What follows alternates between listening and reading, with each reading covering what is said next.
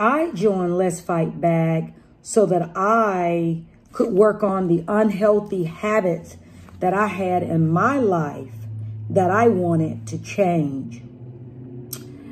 As of thinking about food, the program have helped me to understand the importance of not eating processed foods and um, having me to stay away from sweets because sweets seem to be a weakness for me.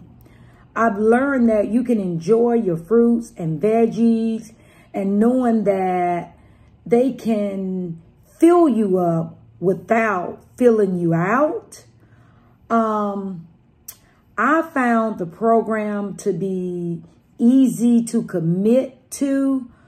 Um, one reason um, that I didn't want is to spend a lot of money. And I had to learn that you could eat healthy and have money in your in your pockets because it doesn't take a lot of money by being on the uh, Mediterranean diet along with um, my olive oil.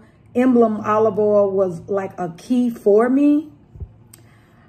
Um, the results I would say that I got from the program, one word for me, and that's discipline. Um, to this day, I walk three, four, five miles a week, and I run three miles. Um, I would definitely recommend this program to others. One reason is that if I can help the next person stay on the healthy track by eating right, by using my emblem and staying away from processed foods and a lot of sweets, then I am a witness to awesome results. Um, Let's Fight Back have really changed my life for the better.